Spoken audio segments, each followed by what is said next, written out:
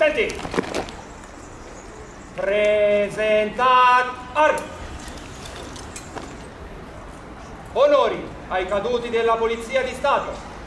Anche Chieti ha radunato le autorità di tutto il territorio provinciale in occasione dei 171 anni della Polizia di Stato. Questa mattina la deposizione della corona di alloro presso il cipo commemorativo all'interno della caserma Spinucci, alla presenza del prefetto Mario della Cioppa e del questore della provincia di Chieti Francesco De Cicco, che ha spiegato il tema celebrativo Esserci sempre.